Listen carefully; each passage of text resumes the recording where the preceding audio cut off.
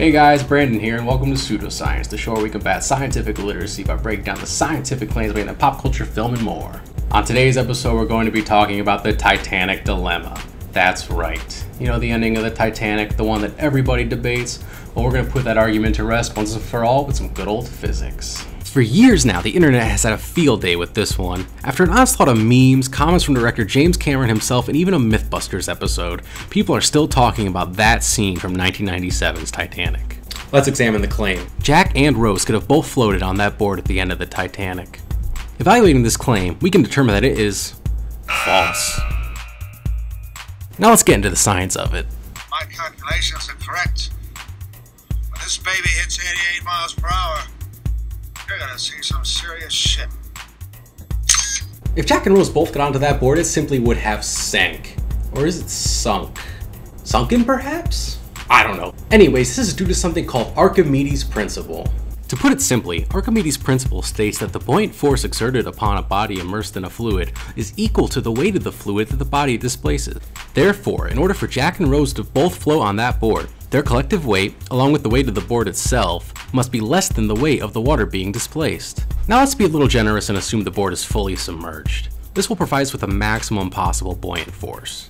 Based on Kate Winslet's height, we can approximate the board to be 2 meters by 1 meter in size, and let's assume the thickness of the board to be 0.15 meters.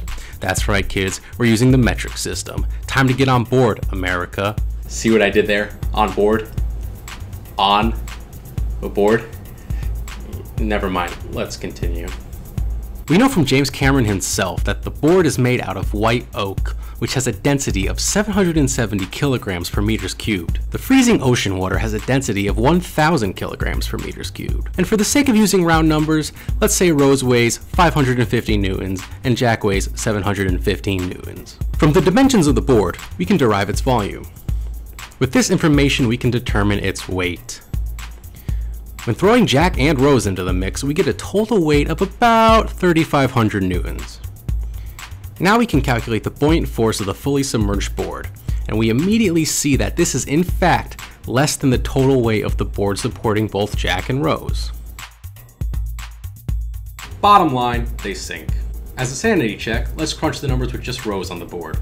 If our calculations are correct and James Cameron got things right, then Rose should float. If we subtract Jack's weight from the previous calculation, we see that yes, Rose does in fact float without Jack weighing her down. Yes, science! This wraps up our very first installment of Pseudoscience. If you enjoyed this video, hit the like button and comment down below, and subscribe to this channel for more future content. And thank you for taking time out of your day for this moment of science.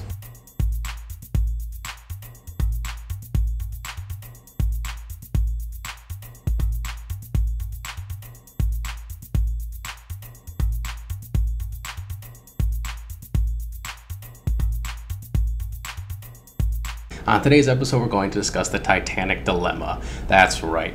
You know the ending of Titanic, the one that everyone talks about. That you know, oh, uh, Jack and Rose could have shared the board together. Like, yeah, we're still talking about it, and we're gonna go over that. That's terrible.